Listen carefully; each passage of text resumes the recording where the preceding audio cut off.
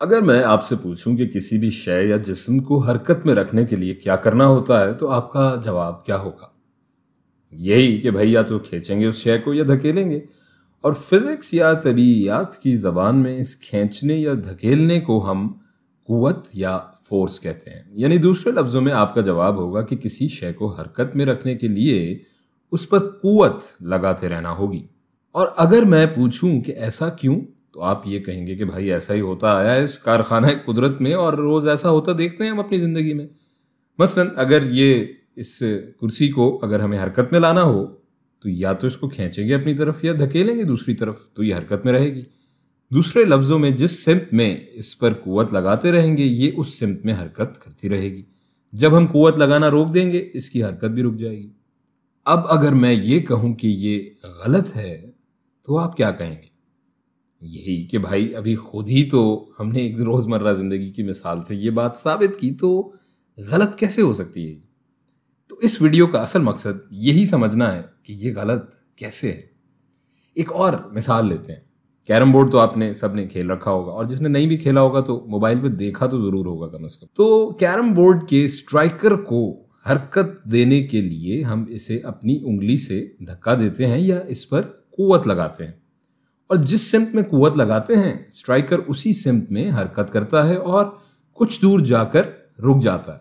यानी वही बात जो हमने पहले की कि जब तक हम कुत लगाते हैं, चीज़ें हरकत में रहती हैं और अगर कुत ना हो तो तमाम अशिया कुदरती तौर पर साकित हो जाती हैं और साकित ही रहती हैं जब तक कि इन पर दोबारा कुत ना लगाई जाए। अब यही तजुर्बा एक बार फिर करते हैं, लेकिन इस बार कैरम बोर्ड पर हम बोरिक पाउडर छिड़कते हैं और अब अगर हम स्ट्राइकर को उसी कुत से दोबारा स्ट्राइक करें या धक्का दें तो इस बार आप देखेंगे कि स्ट्राइकर पहले के मुकाबले में ज़्यादा दूर तक जाएगा साकित होने से पहले। ऐसा क्यों होता है? क्योंकि ज़ाहिर है भाई पाउडर छिड़का है हमने बोर्ड पर और इस पाउडर ने कैरम बोर्ड की सतह को पहले के मुकाबले में स्मूथ या मज़ीद हमवार कर दिया। और हमवार सतहों या स्मूथ सरफेसिस पे चीज़ें ज़्यादा आसानी से और ज़्यादा दूर तक हरकत करती हैं। लेकिन ऐसा होता क्यों है? जबकि अभी हमने कहा और देखा कि चीज़ें उस वक्त तक हरकत करती हैं जब तक उन पर कुत लगती रहे।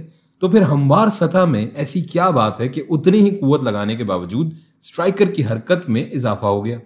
सतह के हमवार होने या न होने से हरकत पे या मोशन पे क्या फ़र्क पड़ता है और क्यों पड़ता है? इस सवाल का जवाब पहली बार आज से कोई चार सौ साल पहले गैलीलियो नामी एक फिजिसिस्ट ने दिया। उसने दरियाफ्त किया कि वो तमाम अशिया जो हरकत में होती हैं, वो कुदरती तौर पर नहीं रुक जाती, बल्कि जिस सतह पर वो हरकत कर रही होती हैं, उसका खुरदरापन उन्हें रोकता है या रुकने पे मजबूर करता है। यानी जब हमने कैरम बोर्ड पर स्ट्राइकर को हिट किया तो कुछ देर में ये खुद से नहीं रुका, बल्कि कैरम बोर्ड की सतह के खुरदरेपन की कुत मुखालिफ समत में लगती है और इसे रोकती है। जिसकी वजह से इसकी रफ्तार कम होती जाती है और बिल आखिर ये रुक जाता है। और जब हमने पाउडर छिड़क कर इस सतह का खुरदरापन कम किया तो स्ट्राइकर की हरकत ज़्यादा देर चली। सो so, अगर हम मज़ीद पाउडर छिड़कते जाएँ और कैरम बोर्ड की सतह का खुरदरापन कम करते जाएँ तो स्ट्राइकर की हरकत बढ़ती जाएगी। और अगर हम किसी तरह से इसकी सतह का खुरदरापन बिल्कुल ख़त्म कर दें या ज़ीरो कर दें तो भाई इस स्ट्राइकर की हरकत रुकेगी नहीं बल्कि चलती ही चली जाएगी। हाँ अब ये डिपेंड करेगा कि आपके कैरम बोर्ड की लंबाई कितनी है और कहाँ तक आगे कोई मजीद चीज़ उसे नहीं रोकती।